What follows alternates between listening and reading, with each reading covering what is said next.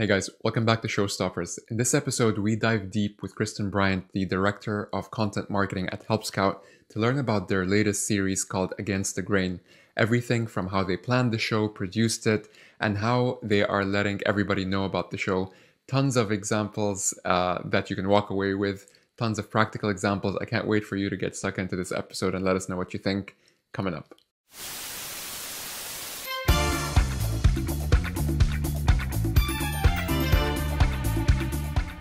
Hey, Kristen, good to have you on the show. It's great to be here. Thank you so much for having me. So, for people who may not know you from before, um, do you want to tell us a little bit about um, about yourself and your your title? Yes, so I am currently the director of content marketing at Help Scout. And Help Scout is a software company that really helps businesses better connect with their customers. So, whether that's communicating with your customers or providing them with excellent customer support, we have software that helps you do that kind of completely. I love it. And in terms of the, um, you know, in, in terms of the the content that you guys are creating, um, that's definitely what I wanted to focus on today, just to know a bit more about your philosophy towards creating shows. I mean, uh, and of course, for, for those who, who have been following your career, uh, you've done a lot of incredible things, even at Wistia, related to show production. Um, I've noticed that you've obviously taken a lot of these learnings over to Help Scout. Can you tell us a bit more about like um, I suppose your introduction to to show the show business overall and and how that journey started. Absolutely. So I, I recently joined the Help Scout team just this past summer. Um, and prior to that, I was working at Wistia. And a lot of my role at Wistia um, was supporting the creation of longer form uh, video content. So, you know, Wistia has really been known for a lot of do it yourself videos, um, helping people uh, who are marketers just think about ways they can really spread video around the entire business. Um, but one hmm thing that we started investing in more at Wistia during my time there was this concept that as a business, you have the opportunity to really build connections with your audience through longer form video content. And Wistia wasn't alone in that in terms of being a business that wanted to invest in that way. Help Scout was actually doing it at the same time. Um, and that was part of the reason why I was excited to kind of come on the journey uh, with my current team. Is just understanding how we can better connect with our audience. We had a show in production, um, which I know that we'll talk a lot about. But, hmm um, you know, I think generally speaking, the trend is there. There are a lot of companies who are investing more in this show production. And for me, it was really about storytelling and how to um, find messages and things that you have permission to say as a company that you maybe are losing if you're just following that very traditional content marketing playbook. Um, so I think it has the opportunity to really open up the pathways of conversations with your audience. If you're hmm thinking about making something that's more like a show, a video series, a podcast, something that talks about a challenge or really something that's going on in the culture, in the world, rather than just stuff that's so focused on is this going to indicate buyer intent or product interest with my company? Hundred percent. And just to just like on the back of that as well, um, that is so true. Like sometimes uh, for companies, like a video series would essentially just be an extension of, you know, for for better or worse, what, what ends up being an infomercial. And I think one of one of the the things that that we absolutely loved about um, Against the Grain, the the show that you guys are doing as um, as Help Scout, is this notion of of creating something that's that appeared so sophisticated and so um, so beyond i suppose like what people may necessarily like expect or to say that another way you know uh, many times you know uh, shows can sometimes be a bit too predictable and i absolutely loved how um, you guys really expanded on that definition. So i love that you brought that point up and i think that's the perfect place to start which is with the show against the grain. Maybe you can tell us a little bit about it and even how you guys even started to, to plan that show to begin with Yeah, so I can definitely provide background, but you know, just as a disclaimer, I joined the team after it had already been kind of in production, and so I have that history, but it wasn't, I can't take full credit for the show by any means at all.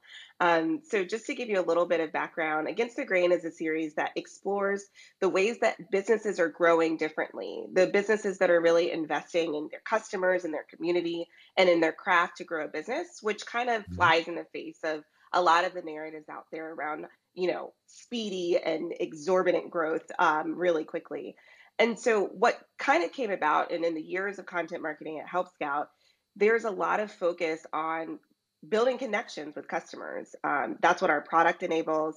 That's what our customers are really great at. Uh, we find that every time we talk to customers, they're people who really care about the customer experience that they're delivering as well. And a hmm thread that kind of started coming up in those conversations was how there are companies that are really dedicated to their customers, dedicated to their community, and are really trying to grow differently, are really trying to think about, well, how do I actually accelerate my growth without just this churn and burn approach where it's like, oh, just give me all the revenue. I don't care if they leave me tomorrow because I'm just on this path to just get as much revenue as possible. And that's that's a popular narrative, I think, when we talk about um, especially early stage companies, but it's not the only narrative. There are lots of companies, a lot of our customers who are growing in a way that's much different than that. And so that piqued the interest of our CEO, Nick Francis. And he was like, well, what would it look like for us to explore this more deeply? Um, and kind of out of that, out of those conversations came Against the Grain. And we partnered with Jay Acunzo, who hmm you know, he's all about long form content, all about podcasts and helping businesses create it. Um, and we partnered with him on this to really tell the stories of companies who we think are doing an excellent job going against the grain and growing their businesses by investing in the relationships that they have with their customers. Yeah, I love that. And I was watching uh, the the debut episode, obviously with uh, Death Wish Coffee, um, as Jay Acunzo was talking to uh, the people behind the brand. And one of the things I loved was just the way that it was even produced. Was this something that you guys had a concrete vision for from day one in terms of like the the production value, or is it something that kind of unfolded organically?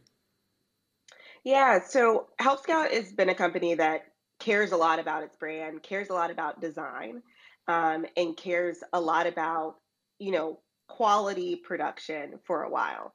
Um, and this was no different because when they started down the path of creating a series, one thing that was really important was that it had a brand that not only spoke to what we were trying to talk to um, in the narrative itself, but also that would resonate with an audience who um, was connected to that journey. So we wanted to make sure that we created a sub brand for the series that checked all of those boxes.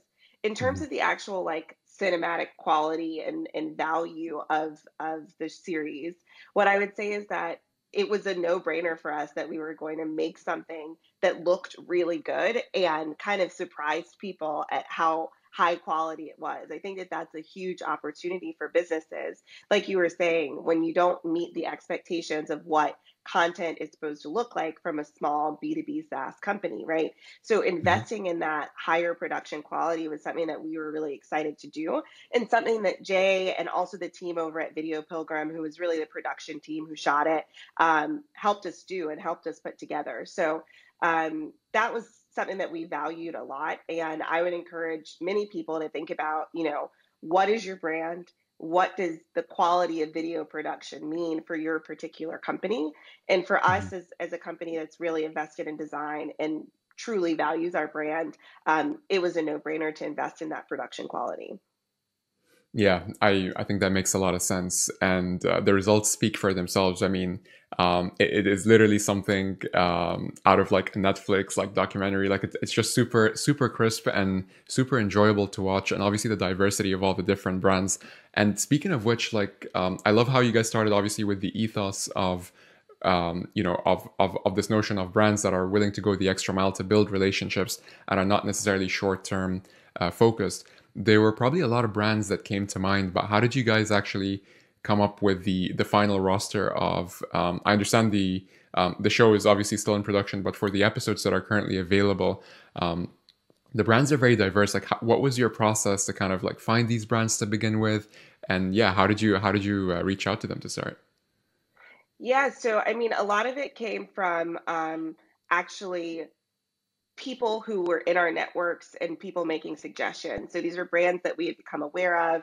Um, and people just did outreach, and we were glad that people answered our calls. I mean, I think that that is a large part of doing shows that rely on guests. And obviously, I was not a part of the guest recruitment for this show, but what I know is that, you know, you can reach out to hundreds of people to be on your show. And 10 might respond. You know, you might get a call with 20 of them, 10 might really be out there. And so as you build that list for a show, it's so important to like have people that you really want to go after, but also recognize that not everyone is going to say yes.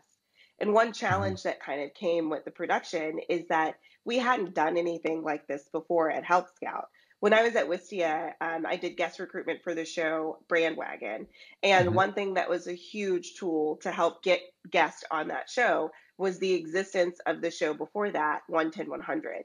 And we could show people the quality of production, how we were going to take care of their own brand, just because, like, just by nature of having that asset already in hand with us and doing against the grain at Help Scout, we didn't have an equivalent. Like we can tell you, Mm-hmm. here's our brand, here's our company, here's a video or two that we've made before, but we just didn't have that, you know, portfolio to show people. And now we do, right? And so Mm-hmm. I'm really looking forward to, you know, whatever comes next for us because we have this as an example of how we will take care of other people's brand who join us on shows. We have an example of the quality of production that we like to, you know, put out there and a sense of like what our company is about. Mm-hmm. Yeah, I love that so much just because, um, uh, yeah, to your point, like sometimes it, it could just be like um, uh, a theoretical idea versus something where there's already track record, uh, where there's already a visual reference for um, how these brands will be taken care of, how these brands will be well represented um, on your platforms, and and things like that.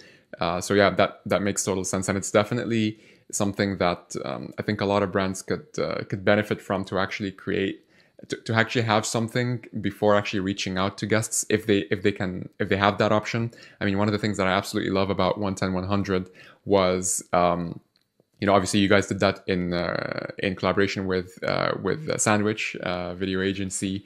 Um, but I, I, love how you guys um, you know created so much uh, amazing content that was also reliant on like a lot of the members of uh, your team as well as uh, as well as sandwich Video. it wasn't necessarily if i'm not mistaken it didn't necessarily lean on you know getting uh, too many uh, external guests and and so did you find that it was easier to put something like that together versus for example a show that requires guest recruitment i mean i think that it's easier is a hard word to use when you're talking about production in my opinion um, you know i think that what it comes down to is a lot of times you underestimate the lift of a guest reliant show um, Mhm. because you're at the whim of not only people saying yes, but also people being like saying yes on your schedule, right? Um, sure and so when you have a tight production timeline uh, and you're really saying, okay, well, we're going to start recording the first videos, um, the first episodes in May, and then we want the first episode to go live in August or whatever. You have like a summer time uh, production calendar what you have to realize is that like it's summer for everyone right and Mhm. so then people are going to have vacations and all these kind of things come into affecting your calendar that you don't have control over which is very different from if you're relying on internal resources um, to be you know to kind of carry your show at which point in time you have full visibility and transparency over their workflow after uh, over how they prioritize getting these things done and whether or not they're going to be available for shooting um, just Mhm. because they're your colleagues and you can make requests of them that you just can't make of partners right um, sure and so I, I would just encourage people to really think through and this is true for podcasts as well um, how if you want to have a guest reliant show that timeline of production and the realities of scheduling have to vary. Um, and now you know this was a consideration when we were doing against the grain but now you know with travel and things it's different too. So you have to be willing to recognize okay what is realistic in terms of shooting something in my space or in a studio? Um, and how does that vary from you know if i was doing a podcast or if i was just recording something or doing something like this right where it's all digital is that what i want or how can i blend those things together um, Mhm. so i would just encourage people to think outside the box in that way I think that the majority of podcasts and video series are interview based. And so people just slide into that because that's what's right out there and what they see. Um, but, you know, for example, technically, I, I mean, Against the Grain is is a series of interviews, but it's really more of like a journalism style, kind of like uh, parts unknown, if you will, where you're doing this deep dive and deep storytelling, which is much different than just asking people questions. Um, hmm so I think that there's a lot of show formats out there that people can explore. It just takes a little bit more effort to figure out how does this blend with my brand and how can I accomplish this. A hundred percent. And even like, and and you're absolutely right. Like, I think video podcasts and interview style shows um, are pretty much the bedrock, right? Like of a lot of different like show formats, um, including this one. But but what I loved about Against the Grain, again, to your point, is that uh, the, the way that it was packaged, it, it definitely felt like for me as as one of your viewers, it definitely felt like watching a documentary series, right, or a docu series, as we're kind of going behind the scenes with different brands. Um, which again is, is reminiscent of uh, some elements of, of 110 100 which which is another show that we absolutely love. I wonder though that once you once people start thinking out of the box in terms of the episode uh, planning uh, the same way you guys have done with against the grain against the grain no, no pun intended how do you guys actually go about like script scripting or structuring every episode given sort of like the, the fluid nature of it? Um, or is it something to be discussed sort of like in, in, in post so to speak Yeah, I mean, I think that storyboarding is a key part of production. Um, you know, again, I wasn't a part of the storyboarding process for Against the Grain, but what I know is right that we relied heavily on our partners for this. So this is something that Jay Acunzo was very hands-on with. This is something that the video production team was very hands-on with. And we knew that we were spending time with people um, you know, a whole day we went and we spent with these companies. And so a lot of conversations happened. And then hmm you have that story that you want to get out of it going into those conversations. And then you have the story that you can tell after you have those sound bites and the actual footage, right? Um, and so hmm I think it's really important to kind of create an outline for the story that you want to tell, whether that's through interview questions or talking points that you know that you want your um, not the guest, but your person to be your host to be talking through with them, right? hmm Um, where you can get to those points of a conversation and have a sense of the direction you want the conversation to go before you actually hit record. You record it, and then you're able to listen to all of that footage and see it, and then put together the story along that original outline. But you may be able to like flesh different parts out uh, to a different extent once you have the footage, which is really exciting. So it's it has hmm to be loose. You can't. It's not like an interview where you're going to just have step by step, question by question. Okay, I got through all the questions. I'm done. You hmm have to have a sense of more of like what is the story that I want to tell? What would I hate if I didn't get to this? If I didn't get to this hmm story, or if I didn't hear um, something, and then you let you let it go organically, right? Especially if I think about the episode of Against the Grain with Naturalicious, where they have uh, customers and people from the company at the table talking to each other. We didn't script that. We just hmm created the space for them to have an interaction and we recorded it, right? So having that kind of scene by scene, okay, this is what I want to accomplish. This is a story that I want to see, or this is a moment that I want to have. And then creating the space for that uh, to happen organically, I think is really what's important. Yeah, I I think that that makes so much sense from the perspective of going in with a plan, but also being flexible and and creating enough space to to your point to, to let things unfold organically as well. And you know, I, I'm al- almost willing to take a bet and say that probably some of the best moments came organically and they weren't necessarily like planned for um, previously, which is which is the magic, as you said, a very exciting. Um, one of the very exciting parts of actually creating and and uh, storyboarding these um, these episodes. Um, out of curiosity, were you guys ever were were any episodes um, surprising for you in terms of like you thought it was gonna go a certain way, but it actually took like a totally different turn? Um, I don't think that the episodes in a, as a whole were, but I, I mean, you could definitely talk to Jay Acunzo about moments where he just ended up going with the flow and talking to someone else. So I think that uh, in the first episode in Death Wish Coffee, um, and Jay, if you're watching this, keep me honest. Um, basically what happened is they were talking to people in the coffee shop about Death Wish Coffee. They had no plans at all to go to the to the whiskey distillery um, where there was a, a, collab with Death Wish and this local um, distillery to make you know this alcohol. They had no plans on doing that, but it came up in conversation, and then someone just called someone else, and then all of a sudden they're recording this um, scene in the distillery, which made it into the episode. Um, and you know, Jay's like tasting vodka, right? Like this is just happening. Um, and I think that that was really beautiful because it just it wasn't something that a producer from the outside is necessarily going to know about before you get there. But then when you start having open and organic conversations with people, they start mm-hmm. making suggestions. Um, another example of this is not my story, but um, I don't know if you've ever seen the episode of the show. Uh, MailChimp has a show called Wifinders. I love that show. And um, I was talking to one of the creators of Wifinders. Man, this was several months ago now, and he was talking about the episode that they shot in, I think it was Croatia, where they just kind of got there. They had reached out to people to be um, to be kind of uh, to appear on the show based on whether they were working or places they had tagged on Instagram and they DM'd people who worked in these workspaces and all this kind of stuff. And so they went with maybe two or three people lined up to talk to. And mm-hmm. inevitably, mm-hmm. in like every city that they went to, um, they just got suggestions for other people to talk to and then those other people ended up in the show as well. So i think that it's like if you're really wow. having powerful conversations and making connections with the people that you're featuring on your show they will open up and make suggestions that will be a part of the show generally. Um, and i think that that is just kind of the beauty of creating and the beauty of production in a lot of ways yeah. Oh my God, Kristen, you're dropping like golden nuggets right now. Um, that makes so much sense to me.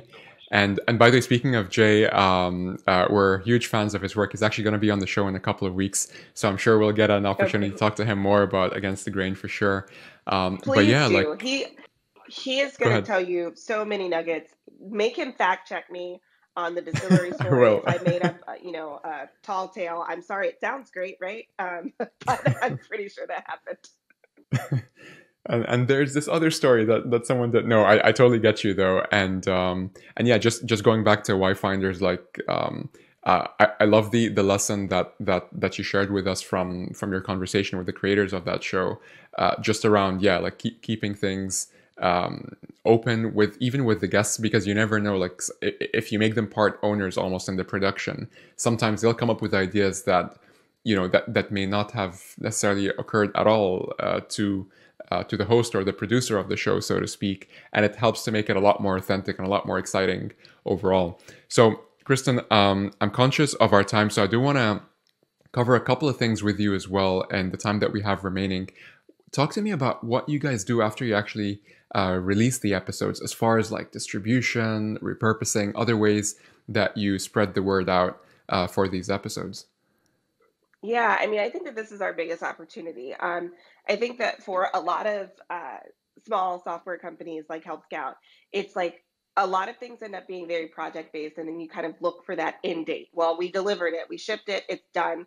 Um, mm-hmm. But with a show like Against the Grain, it, there's an opportunity for it to never really be done, right? Um, one thing that I learned from working at Wistia, and particularly with 110 100, which has been out for two years now, is that mm-hmm. there's always new people that are going to watch a show um, that's timeless. And Against the Grain is timeless. It's not. Um, it's not about any particular product feature. It's not about the year that mm-hmm. we're in. It's about the story of a way of uh, companies are being built, right? Um, right? And so there's an opportunity for new people to find and engage with the content kind of forever. Um, and so, in that sense, we set up a time period where you assume that you're going to get the majority of your viewers right when you launch. You have the most momentum, you're building on it. Um, we were sending weekly emails out to folks, um, always asking for subscribers so that we know, you know, we're not just hitting our entire database of users with information that they might not want. Um, mm-hmm. and, and then we're kind of betraying that trust. I think it's important to build subscribers lists, uh, particularly for businesses. But then once you get going on that subscriber list, I think you have permission to uh, really just promote the content make sure that they know the storylines they may have missed or mm-hmm. you know sometimes people see the email but don't have time to watch the episode and re-engaging folks with that content later is totally okay because they subscribed with it uh, just subscribed for it right um, mm-hmm. and so i think that just continuing to keep the ball rolling and build momentum whether it's on social or sending people emails or uh, we also have done a couple of events related to Against the Grain. Uh, we did a a launch event with Jay and our CEO Nick, who were in conversation about the series. Um, and then we also did kind of like a follow up talking about the themes where Nick and I talked about like what we were excited about mm-hmm. the themes of Against the Grain. And so that follow on content, I think, is a great way to continue engaging people with the themes of um, the show, even if it's not like episode specific content that you're creating in the long term. Yeah, yeah, uh, that makes sense. Um, especially the the notion of actually recording additional uh, behind the scenes content or uh, exclusive content based on the show. It actually reminds me of. Um, I remember watching the uh, the Irishman, uh, the movie with uh, you know um, yeah with all, all, all these guys, De Niro and, and, and the rest yes. of the guys, and they actually did the very long movie by Scorsese. Yes. The very long movie by Scorsese, exactly. Yeah. Then again, I think all of his movies. Well, I haven't seen all of them, but most of them are pretty um, are pretty long and epic. One of the things that I love that they did is they actually went back to. I'm not sure if you know what I'm talking about, but on Netflix they released like um, like an additional thing where it's basically um, all, all the main actors around that same table, uh, that same like um, mafia table where they were ha- where all the important decisions and scenes were happening, and they were just talking about uh, the characters that they were playing and just reflecting back on the movie. Um, you know, like some of the the scenes that were particularly like interesting or challenging. And again, like people and that and that thing itself, if I'm not mistaken, I think is like 20, 30 minutes or something like that. And so people may watch that and be like, wait a minute, I need to go back and watch that full uh, that that full movie because it's funny we always talk about like repurposing and like extracting more value out of the ex- out of the existing episodes but i love what you said because it adds to that and it says like hey like you can actually create additional brand new content assets that continue to to drive the cause uh, for these evergreen uh, series because to your point like people may come like next year and and, and the year fo- and the year following just like you know they're doing with a lot of uh, Wistia's amazing shows like you know, the, people are still experiencing these shows for the very first time. So it keeps everything evergreen in that regard. And what about, um, uh, sorry, were you going to say something? I was just, if I could, yeah, if I could just chime in yeah. there, the two things that I wanted to pull out from what you said. The first one is that it's totally exciting and, and smart to be taking um, cues and inspiration from a company like Netflix in terms of how they're promoting their content, right?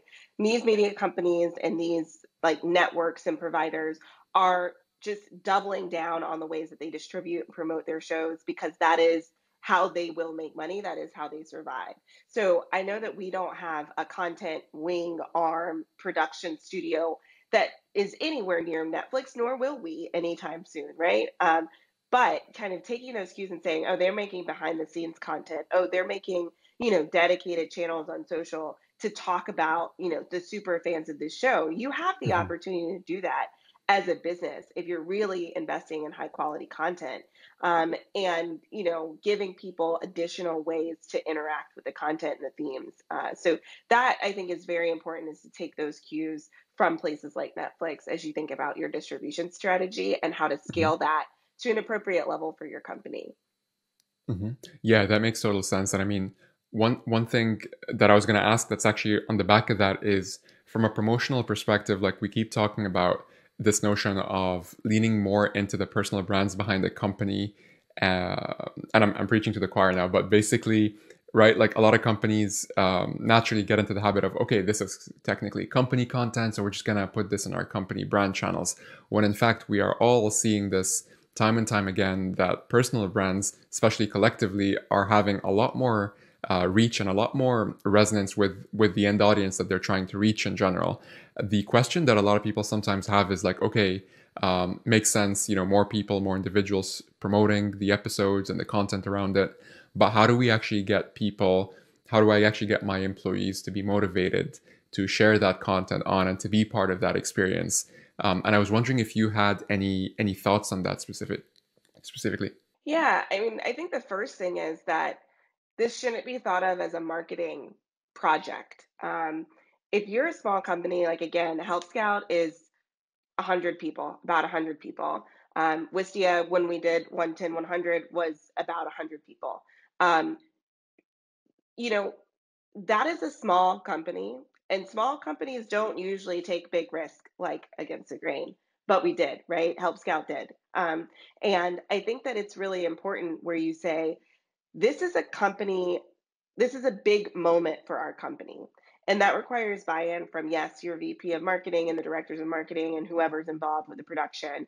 But it's also the CEO telling that story. It's also the whole company understanding that, like, we are doing something that's really exciting. Um, and that this is that this matters that we are putting ourselves out there as kind of trailblazers at this point in time. There's not a lot of companies of our size that are doing content in this way. And I will tell every company that's thinking about it, that will be true for a while um, because it's just not something that's getting on people's radars yet. Um, and that's a huge differentiator and a huge opportunity to just spark some excitement around it. Um, you know, one thing that's really different in terms of this content at Help Scout versus this content at Wistia at Wistia, we were making software for marketers. And so our entire, you know, content marketing approach was how do we make content that marketers will find inspirational and interesting.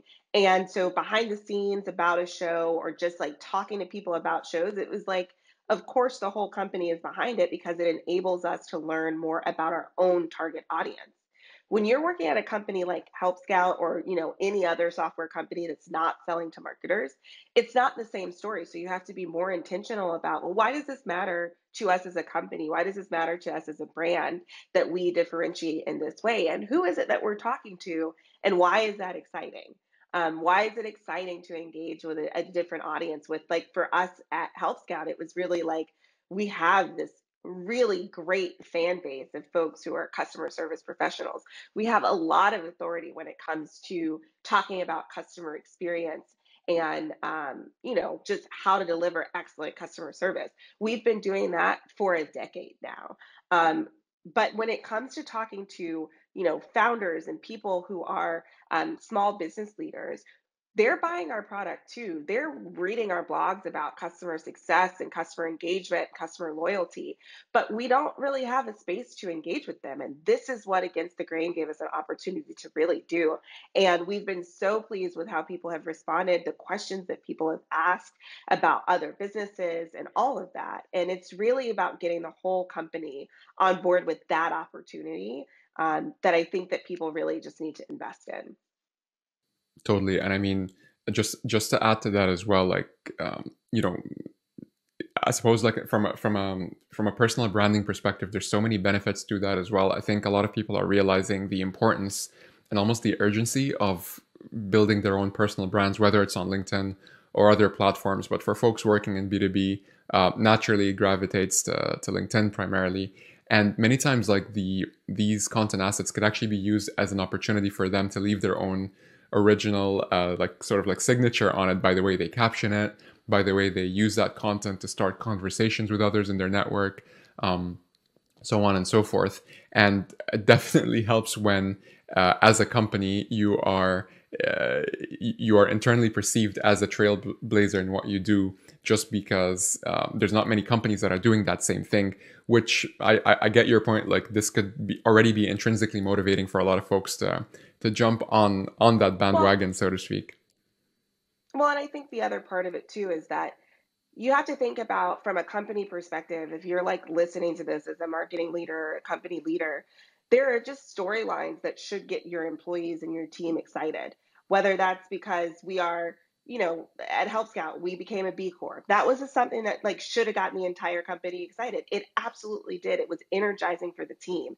We became a B Corp. We published a new diversity dashboard online to hold ourselves accountable and tell the story of how we're making our company more diverse and more equitable and inclusive. Um, mm-hmm. And that's something that's worth, exci- you know, that's exciting to tell the story of.